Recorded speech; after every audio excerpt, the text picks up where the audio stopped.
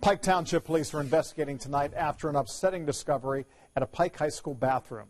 It is unclear if the intent was hate or mischief, but the school says there will be consequences. David MacAnally shows us the image in the mirror. At Pike High School, on the wall in the men's room. Surprise you that would be in your school? A little bit, yeah. That's just ignorant to me.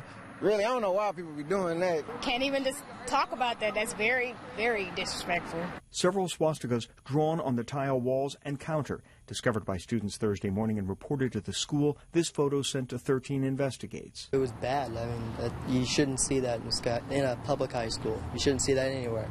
This Pike grad asked we not use his name.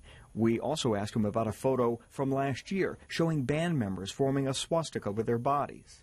It, it makes us look and feel uh, wronged and like not whole. You know what I mean? It it takes away your sense of safety and secureness because there's people like that in the world. The Pike grad is from a family of Holocaust survivors, also a member of the Carmel Synagogue, where vandals painted the Nazi symbol on a structure outside temple.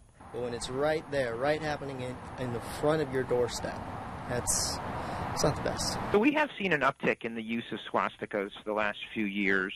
We've been noticing a lot of them taking place in the school setting.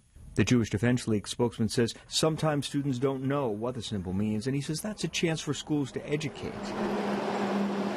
Pike School says it acted after last year's band photo. Quote, this type of discriminatory conduct is unacceptable and will not be tolerated in our school community.